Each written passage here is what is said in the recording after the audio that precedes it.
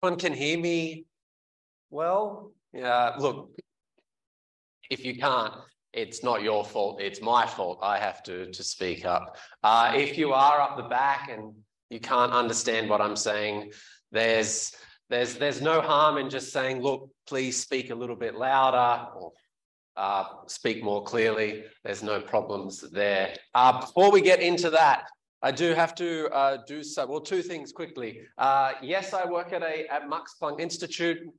The one I work at is for comparative public law and international law. Uh, yes, I think it's the best research institution for these areas of law in Europe. Um, but I also think it might be the best in the world. So that's the only thing I will, will add. And the second thing is I want to thank uh, particularly Professor Bungenberg for inviting me here. And also there's a lot of other invisible work that you never see. So for example, Alexandra and her, her, her, colleague Stephanie, there's always some emails that have to go between us to, to make sure that I'm here. So I wanted to say thank you for that. Uh, also, thank you to, to you uh, for being here. I wasn't sure uh, who would actually turn up, and I, I thought uh, it could be a, a, class where some people have to go because they failed an exam or, or something. Um, so I thought there might be two or three people here. Um, but now I look around and I see there's uh, quite a lot of uh, people here. So thank you for coming. It gives me a lot of uh, encouragement and, and energy to talk about this here, the rise of domestic courts in international investment law. I'm not going to tell you exactly what that means now. Hopefully over the next 30 minutes, we'll, we'll get an idea. But just to give you a, a, small idea now, I put this picture here. It's not, it, it, it's not perfect for what I want to portray, but what I want you to think about is, is that international investment law is this big rock here that you, that you see. It's the first thing you see, but there's something going on in the background. There's a big, powerful light that's somehow moving, moving, moving, moving up very slowly, and it's going to shine a new light on this big rock here. So that's a bit of the direction we'll be going in. Uh, how do I operate? I suppose I just do press that. No, that's not working. Maybe I need to press that. Yeah, all right then. So we're in business. Um, first, give me about 10 minutes to give you some background so we are all on the same page and then we'll start uh, going into some more details. So, question one. What is the meaning of the rise of domestic courts in international investment law? Uh, again, I can't give the answer in five seconds. We need about 30 minutes, so we'll, we'll, we'll get into it. But perhaps one answer I can give you is this here. It's a thesis of a research project. Now, if I stand or sit in your position, I might be thinking, what is a thesis? Because, like, let's be honest, um, I'm older than you, you're a bit younger than me. When I was your age and someone starts talking about the word thesis, I might be thinking, well, what are you talking about? So basically, uh, I think of a thesis, it's a little bit out of line, but you get the point. What is a thesis? It's basically it's a contribution to existing knowledge in a particular scientific field. So what is our scientific field? I mean, what are we thinking about in this classroom here? Anyone? Yeah. yeah, international investment law or simply law. So the idea is, is to come along and to say, we, the, the research team, which as we heard earlier includes uh, Professor Bungenberg, uh, we have found some new information or we have made a new finding in this area, in this particular scientific field. So rise of domestic courts in international investment law is a research project fundamentally. I'm going to talk to you about the research project today. Uh, that didn't quite come out, but sometimes uh, it makes more sense soon these little ticks. Where is this research project at? It could be at different stages. It could be at the conception stage where we are thinking about the idea, but it's gone a little bit beyond that. The tick there, I've got an idea where it should go. The planning stage, so when you're planning something, you're thinking mainly, how do I get money? Fortunately, we have some money. We are at the execution stage. So we're actually you know, trying to read cases and, and doing the, the actual research for the project. And hopefully soon enough, we'll get to completion where there will be a book and with some slight chance, you might even read it. Well, parts of it anyway. So that's the direction where we're going. If I'm sitting in your position, I'd be basically asking this question here. What is your role in this? I mean, why should you care about this research project? Is it going to help you pass your exams at the end of the semester? Probably not. Many of you just click out now. Okay, I'm not there. Um, but there's, there's a good reason not to, to click out because what I'm really trying to, to say to you is that are you, are you going to sit there and be an audience and listen to what I think is a really beautiful uh, idea or a, a, new interesting finding about international investment law. If you were going to be the audience, you'd probably be so bored after about 10 minutes. So I said to myself, I can't do that to you. I can't make you be an, an audience and just listen to me. What I want you to do, and I hope this part comes off, is to be critical reviewers. So you know that I'm doing a research project. Now I want to present it. And then later, I want you to say, I can see a problem here, or I can see a problem there. Now, a quick point. I don't watch Deutschland sucht den Superstar.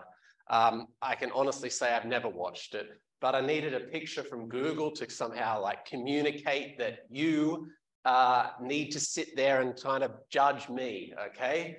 Uh, this is what Google recommended. So yeah, please don't look at that and think, oh, I'm a big fan of this show because I can, I can promise you I've never watched it. I think, um, what's the translation?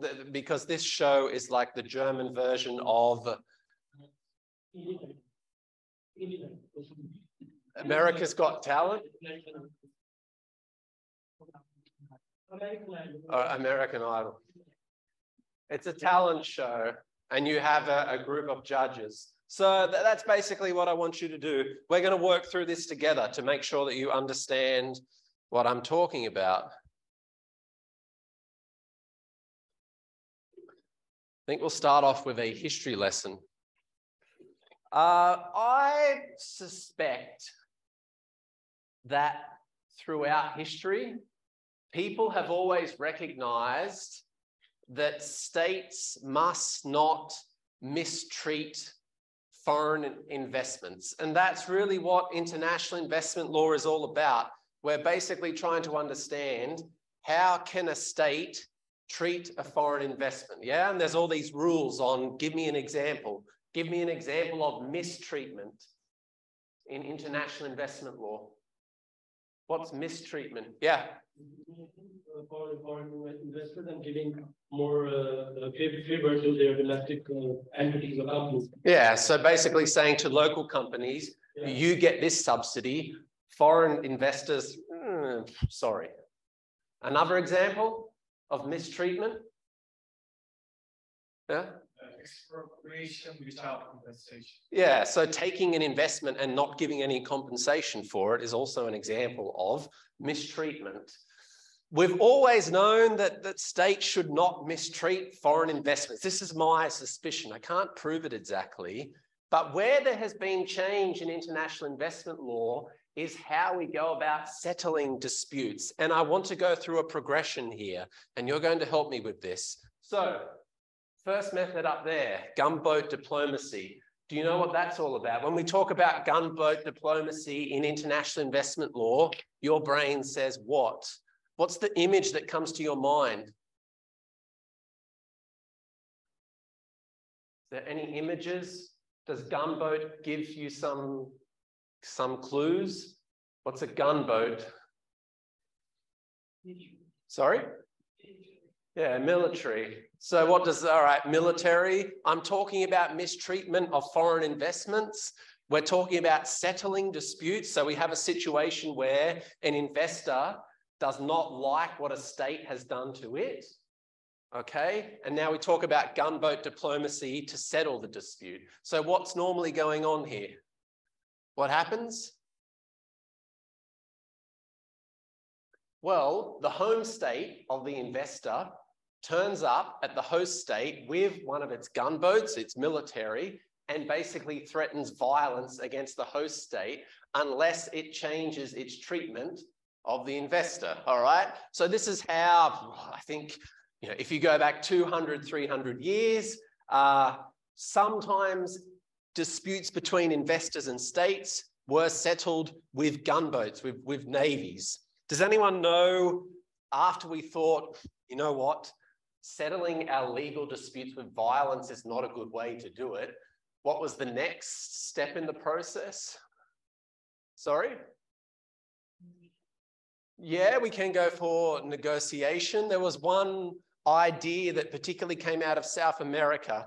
It didn't really catch on that well, but I want to mention it. Yeah. If some agreements before to agree, if any dispute happens, so any third party can protect us for, for such kind of situation. Okay, yeah, that's why that comes a little bit later. Um, I'll give it to you. Equal access to local courts. Uh, has anyone heard of the Calvo doctrine? Yeah? This morning, yes. Exactly. Calvo doctrine is huge, um, but there's one part of it, and it's this part of it here. I don't want to have to translate that. If you learnt about it this morning, you probably know more about it than me. equal access to local courts. So basically, the idea is rather than the home state, a strong, powerful state turning up with its navy and threatening violence, what we offer to foreign investment, sorry, foreign investors, is the possibility to go to local courts and decide investor state disputes there. So if you have a problem with Germany, what does the idea, if you are an investor and you have a problem with Germany, what does equal access to local courts mean practically? It means what? Yeah. No, uh, like uh, equal treatment, like uh, the same nationals or same local entity. Yeah. To be not uh, like favor, giving favor to the local entities and giving a discrimination to us. Yeah. Or uh, like any kind of inequality. Yeah. The same kind of equal uh, treatment who uh, the national other local companies are getting from the same courts. I agree with everything you said. Uh, but I mean, all right, put yourself in the position of an investor here. You have a problem with Germany. You probably want money for it, okay? And I'm telling you, you have equal access to local courts. What does that mean as regards where you take your claim against Germany? We're not going past this point until you understand it, by the way. Yeah. Perfect. That's the idea of equal access to local courts. You say to foreign investors, you got a problem? Go down to that court in Saarbrücken there and complain about it. All right, then think more practically. If you are standing in the shoes of the investor, why do you say, I don't like that idea? Theoretically, very good. Practically, why? Because of the language barrier and the same thing, that they can favor their local parties. Yeah. Others, because they having more influence or any kind of other settlement. Yeah, they can favor their local parties, um, in this case, the state. Yeah, so they'd be, the, the foreign investor will be thinking, right, I've had a problem with, let's just say, who lives in Saarbrücken here? Well, I mean, you, you all do, but who, who comes from Saarbrücken? Anyone? No? Let's say there's an institution called Stadt Saarbrücken. I, I don't know. Maybe there's something different. If you've got a problem with Stadt Saarbrücken, and then you have a possibility to go to a local court in Saarbrücken, you might be feeling like, okay, the people at Stadt Saarbrücken know the judges at the Amtsgericht Saarbrücken. I feel uneasy about this. I'm not going to get fair treatment. So what was the next uh, option to, to go for then? Does anyone know what was the next? I love your answers, but I want to spread the love around the room and ask for some other people who are a little bit quieter to, to speak up. Let's hear it. Who's the bravest? Who's going to tell us what happened after this? State to state dispute settlement. What does that mean? And go to yeah. my government, my diplomatic missions to go as favored and go for the state. Uh, okay, all right. So basically, the home state takes a claim on behalf of the investor against the host state. Easy enough. Yeah? Host state is, well, sorry, home state takes a claim for its investor. So if your home state is Germany and your investment is in France, that means Germany makes a claim against France. Full stop. Again, what's the practical problem with this? Where's the problem? Who's enforcing the claim? Sorry? Who's enforcing the claim? So you you're from Germany? Let's say you are. you're from Germany. Your home state, Germany, the German government takes a claim against the French government.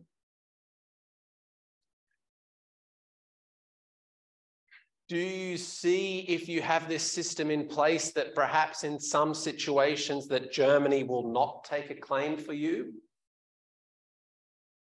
Or do you think they will always take a claim? If you go to the government and say, yeah? Have diplomatic relations and so they have some priorities and they may uh, take from claim that. Yeah. What happens if your home state says, we don't want to annoy France? you know, we want to do business with France. And if we take your little claim that we don't really care about, then the French government is going to be annoyed with us. Why do we do that? We're not going to do that. Sorry. We, we like you, but for political reasons, we're not doing that. So, what's the final progression here? Where do you go? Sorry?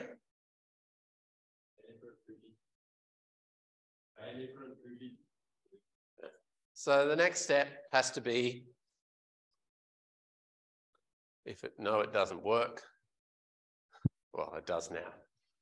Investor State Dispute Settlement, ISDS. Now, uh, this is the one that you should be most familiar with.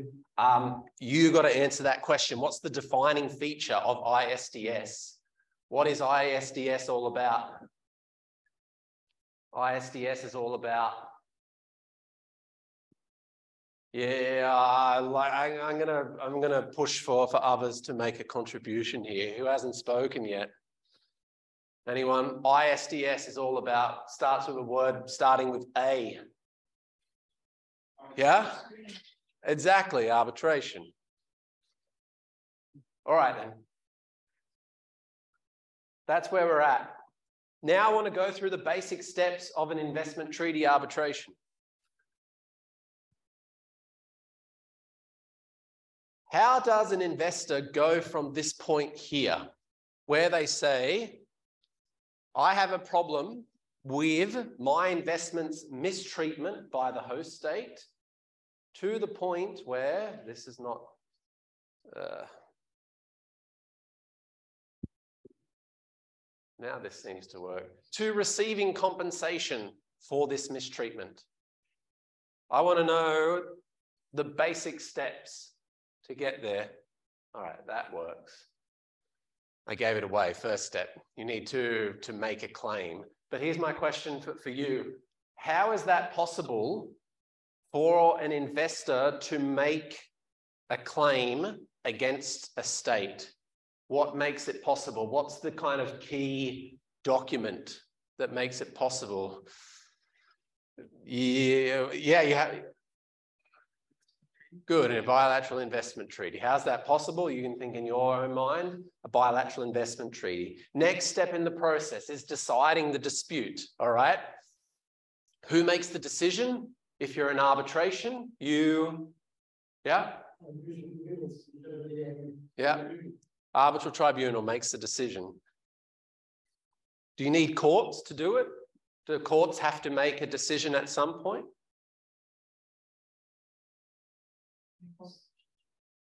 Maybe. But do you, well, we're actually going to get to that. Let's hold that. So the next step in the process is getting a remedy. So if the arbitral tribunal makes a decision that you, the investor, should get compensation, the next step is to get the remedy. Um, how is the remedy usually obtained? Do investors ordinarily have to enforce, go to a court and enforce? What's the answer? Yeah. How often a challenge is made? Not very often, actually. But it's, it's possible, and we're going to get to that. It's possible to make a, a challenge. So what I'm trying to get to is this point here.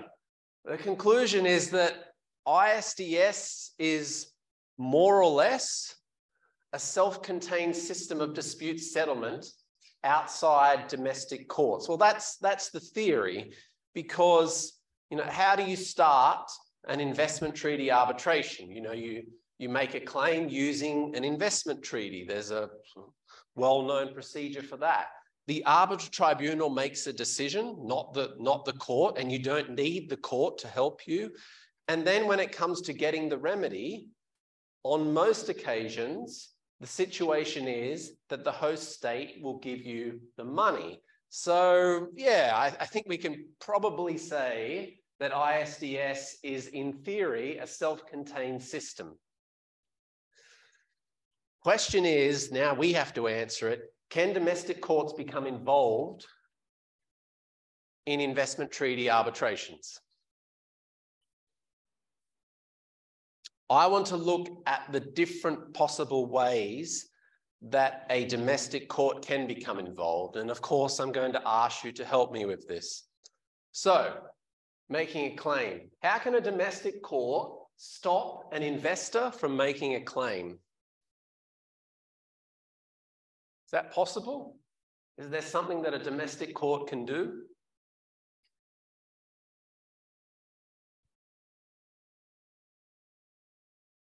What can a, a, a sorry, a domestic court do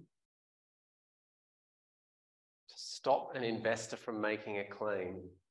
There's something they have in their arsenal, something they have in their weaponry that they can say, nope, investor, you cannot make a claim.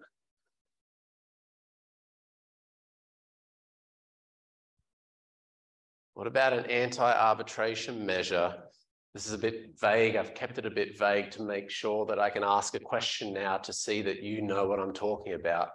So when I talk about an anti-arbitration measure, is there any concepts that are coming to your mind? Uh, yeah?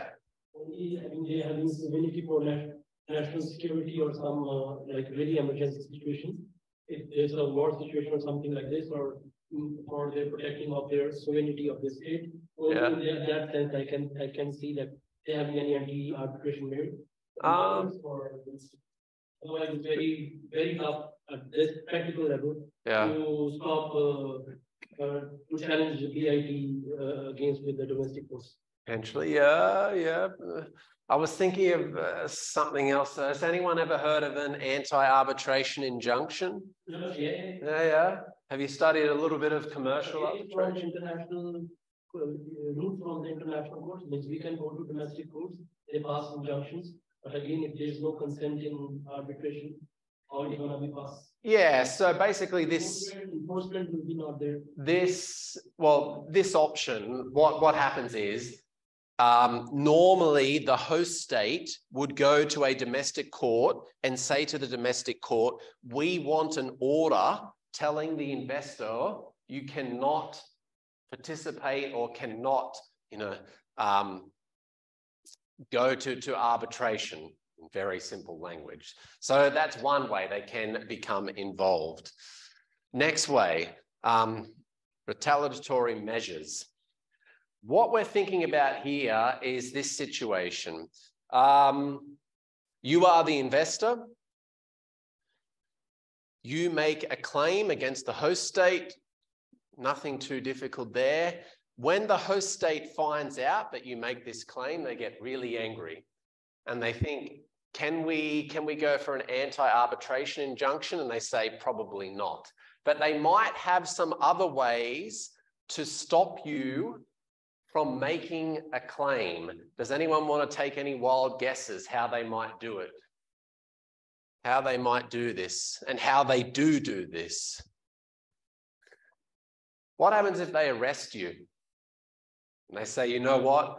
Uh, you've been involved in corruption. And because of your involvement in corruption, uh, we're going to prosecute you.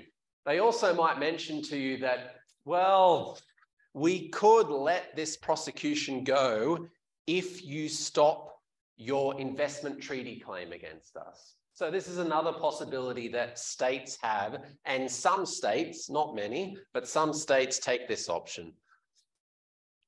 Third possibility, this is a bit more complex. Have you heard about the Achmea decision yet? Achmea decision? No?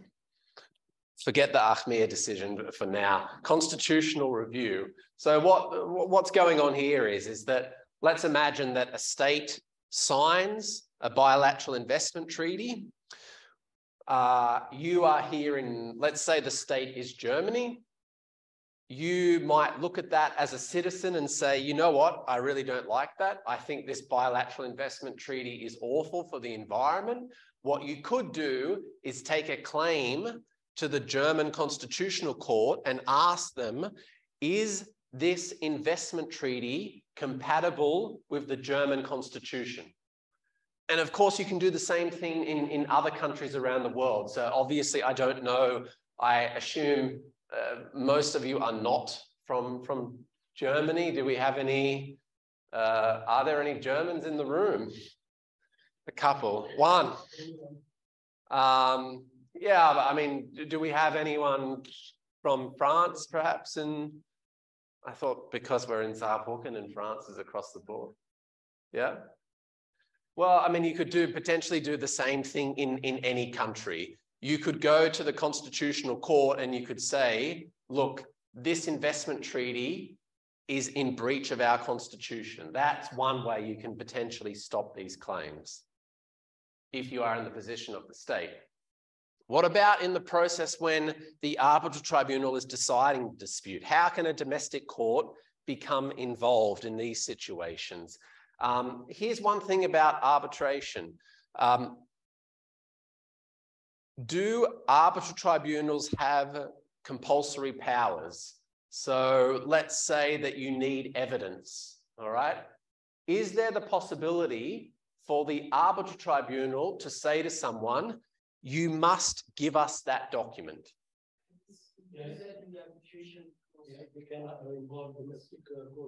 Involve, but the arbitral tribunal itself doesn't have that power. It, it, can't say, look, you, you know, they they cannot issue a document saying you must give us that document. The uh, investors not have um, uh, make sovereignty have an administration that constant before the room is to anything and uh, we settle any arising dispute So according to institutional so yeah. if there is a, an agreement that this case will be arbitration, that means they have yeah, of course, they have jurisdiction, but do they have the power to actually take a document from someone? No, absolutely not. How, how, do you, how do you do that? How, if you are an arbitral tribunal and you want a document, how can you possibly get that document if you really want it? Yeah. That's another way they can become involved. So helping with evidence is another big way that domestic courts can become in, involved in the process. This one's a little bit more, more complicated, concurrent cases. Um, let's imagine that you're big, rich investor you have a dispute with the state, you know uh, that I have, well, you as the investor, you have the possibility to take an investment treaty claim against the state. Could you also at the same time make a similar claim before a domestic court?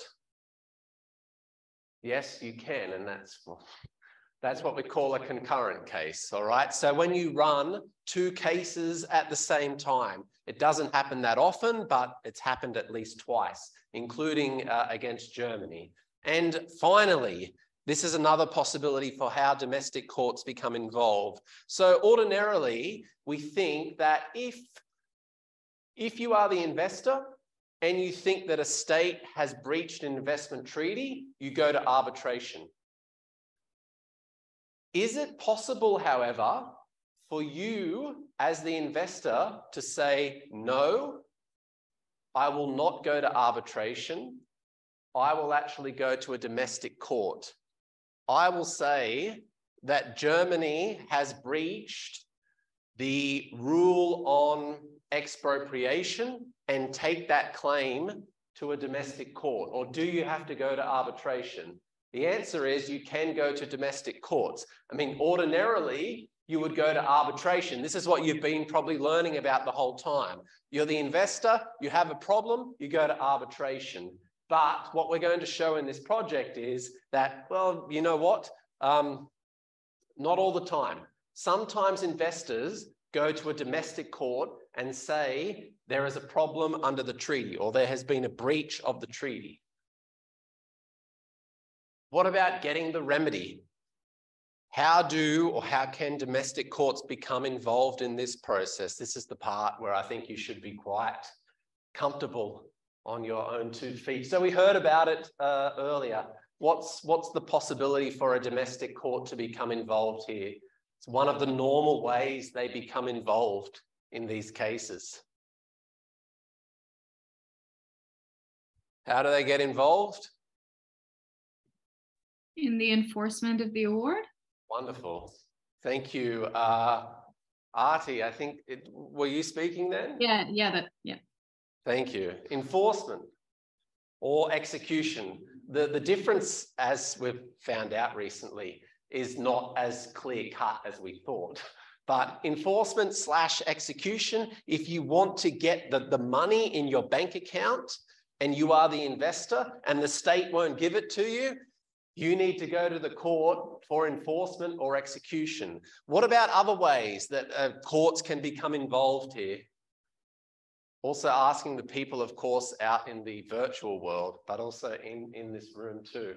How else are they going to get involved? If you are a state and the arbitral award says you have to pay 50 billion euros in compensation, uh, you're probably not going to want to do it. So what are your options now? What are your options? How do you, you know, fight back here? How are you going to do it? Well, yeah. Yeah, challenge it. You challenge the decision. So that's our next point here. You can challenge it. I want to know about two types of challenges. I mean, you can't just turn up to the court and say, I challenge. You need a reason, of course. So any, any brave souls who want to tell us a, a good reason to challenge an arbitral award? Procedural things. So, Okay. uh, if it's not uh, independent arbitration, it's not independent impartial. Yeah. That actually, that's actually a second point one. There's, there's one before that I was thinking, you're, you're right, but it's, I know what's coming up in the slides here. The next one is, uh, if you are an arbitral tribunal and you decide when you don't have power, well, they came up at the same time, but anyway, you have no jurisdiction. So that's one of the, the common ways to challenge an arbitral award is to say to the court, the arbitral tribunal made a decision, yet they never had the power to actually do it. Um, the other possibility is, is, a little bit more vague uh, against public policy. So you look at the arbitral award and you say, in some way, if this arbitral award was enforced by the court, it would breach the public policy of the state where the court is found. So those are the ways that courts can become involved. Here's the question that I want to ask. If domestic courts are becoming more involved in investment treaty arbitrations, how is this changing international investment law? That's the whole point of doing the research project. I mean, on the one hand, you know, we have to go through a couple of steps here. First, we have to identify the different types of involvement, like we've just done that then. That's not too difficult. Second step is a little bit more difficult. You have to prove that these involvements are regularly happening. So let's talk about, for example, that situation where a state takes retaliatory measures against an investor for starting an investment treaty claim. If that had happened once in 20 years, is that so interesting? Not really, but we know it's happened at least five times and it's happened four times recently. So that's the, the next step in the, in the process of trying to, to answer this question.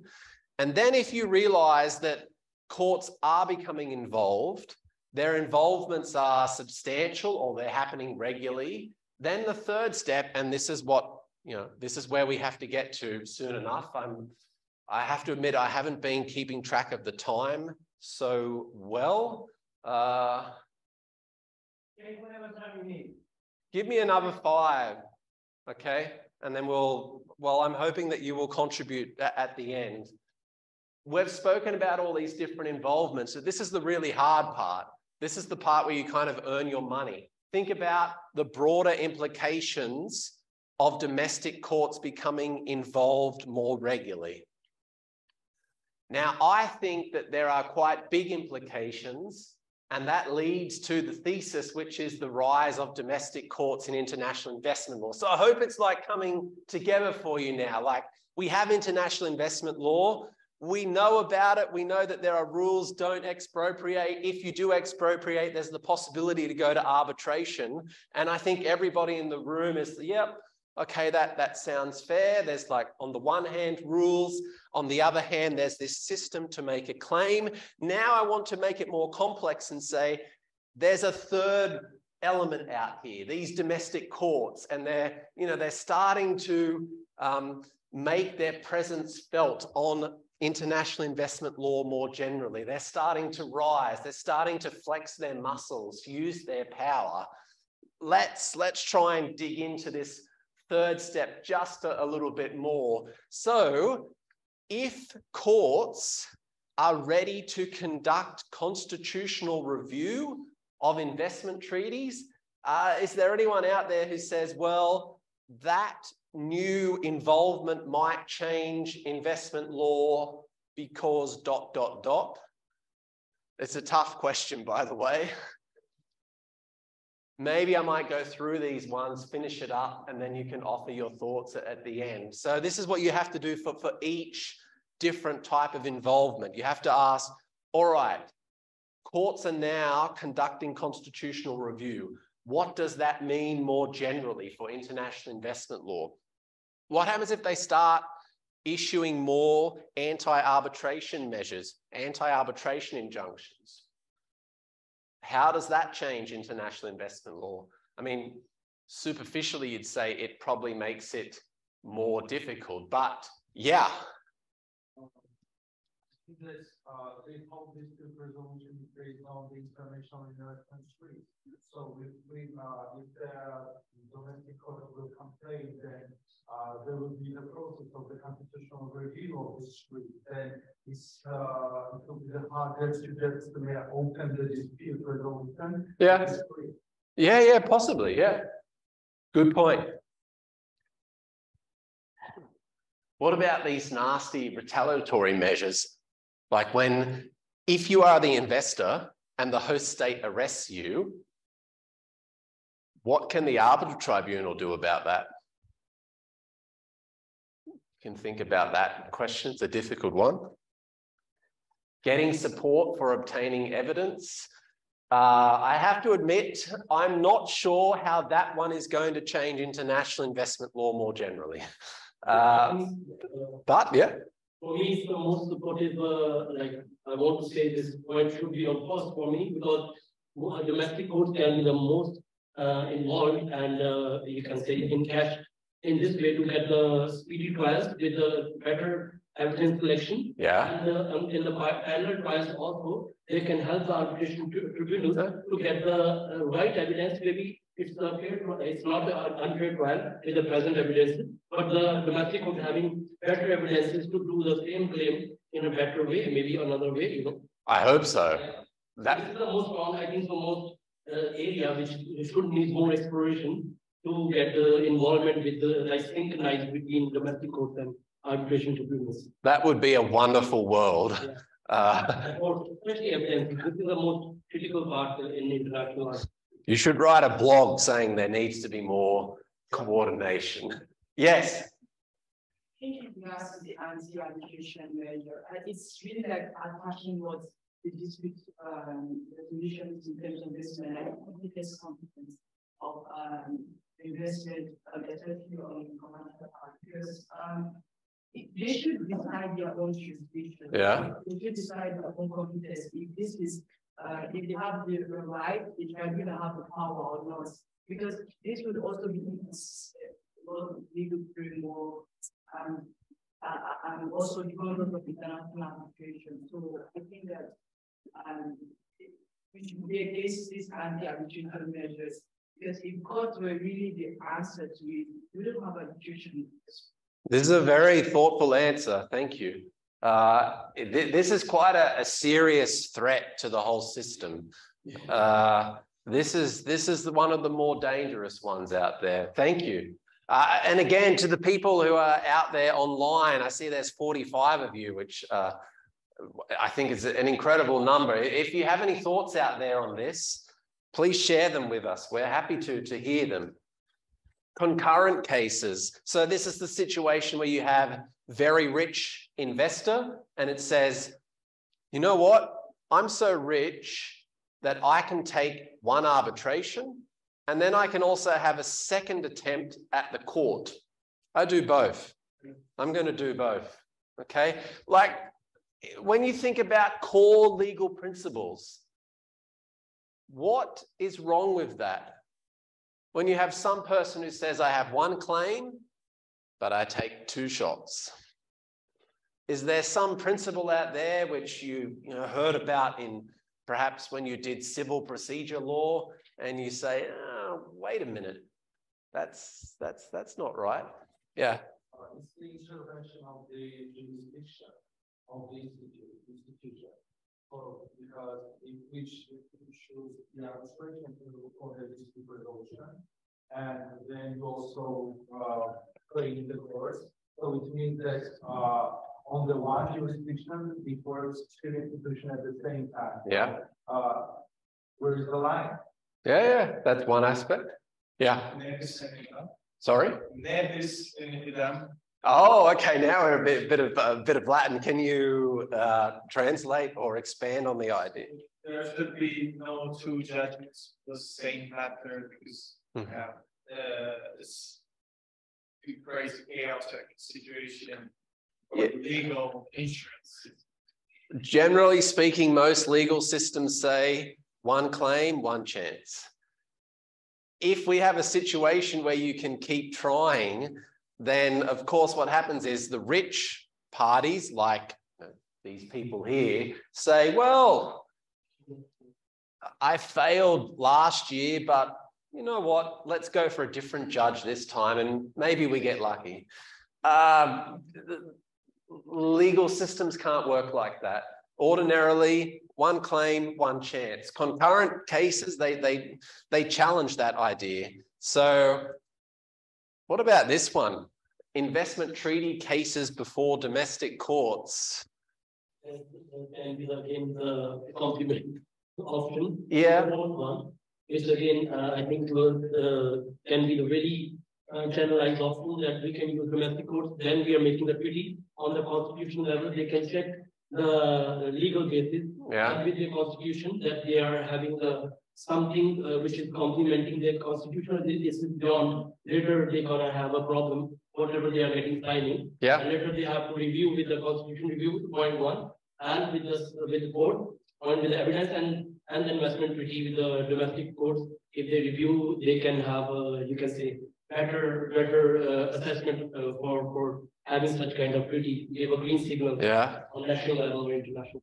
What about anyone in the virtual world? Any thoughts out there on, on these types of, of cases? Can I actually tell you that my, my colleague did some excellent research on this and found there were 21 cases.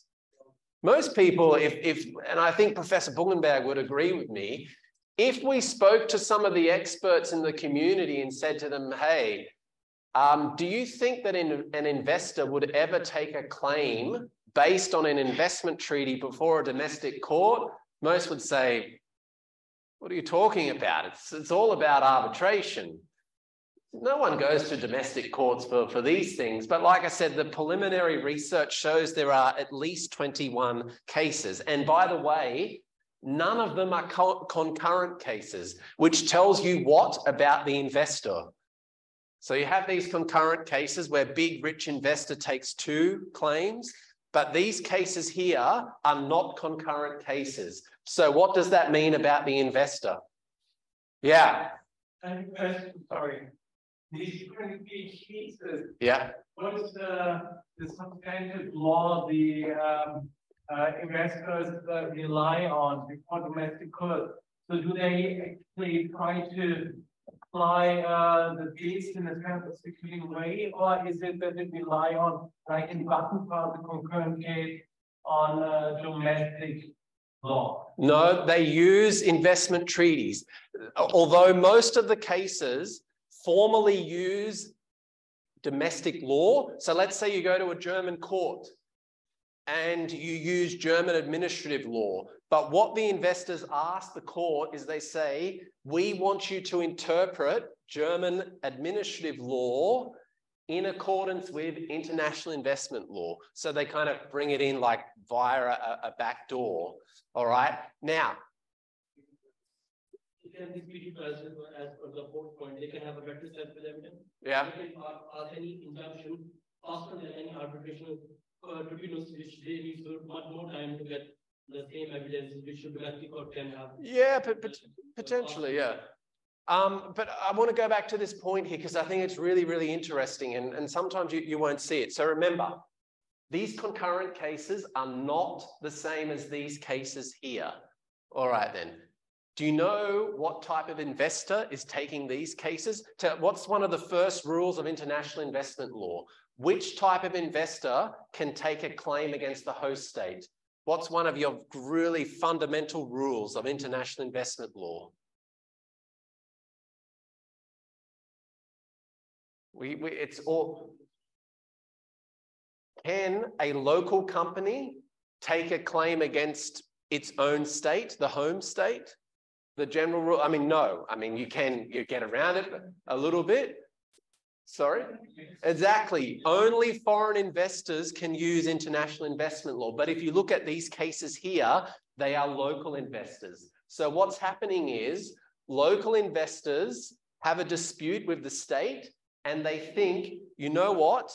If the court uses international investment law, we have a better chance of winning. And therefore, they go to the court and they say to the court, we want you to use international investment law. So it's international investment law is, uh, is almost becoming a little bit of domestic uh, investment law as well. It's kind of spreading. It's, it's, it's slow and we're still doing the research on this.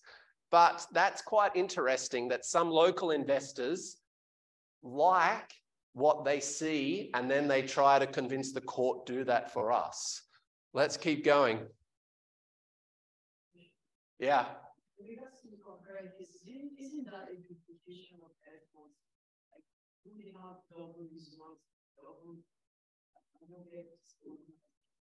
Okay, but the, the investors involved in this, let's imagine that the company has, oh, maybe they have a turnover each year of 100 million oh, sorry, 100 billion euros.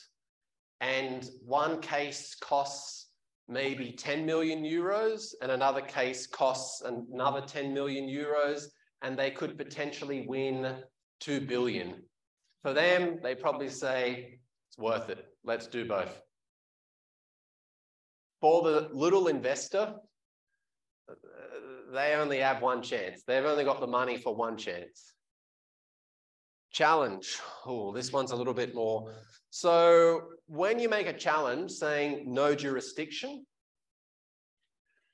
can you give me some more specifics on what, well, normally the, the state would, would say? What, what, what are they going to say there when they say there's no jurisdiction? Because what's the legal argument that they make in court? They say the arbitral tribunal did not have jurisdiction because dot, dot, dot, including to the 45 people out there in the virtual world.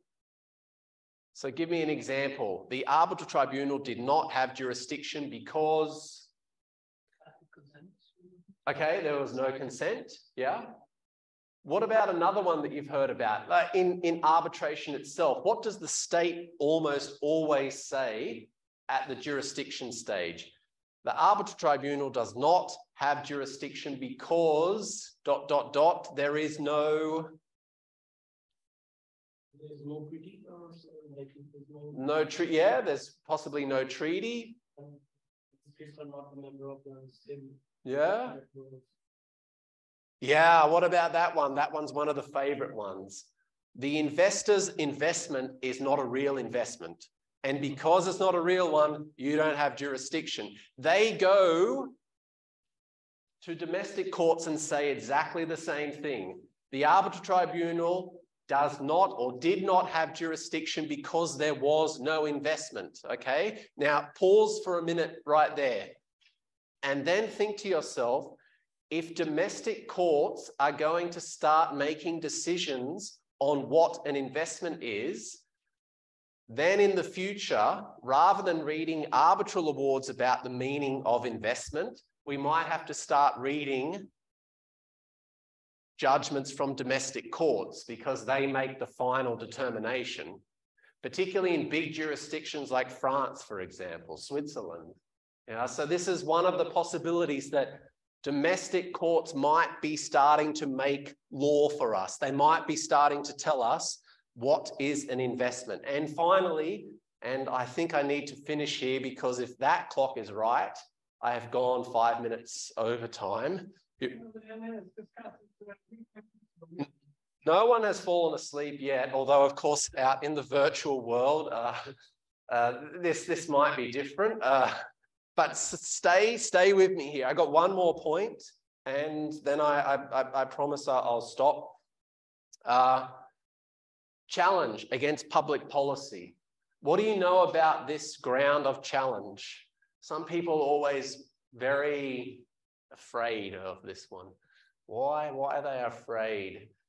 Public policy. I, I love your answers, but I like I want to hear different voices. Public policy.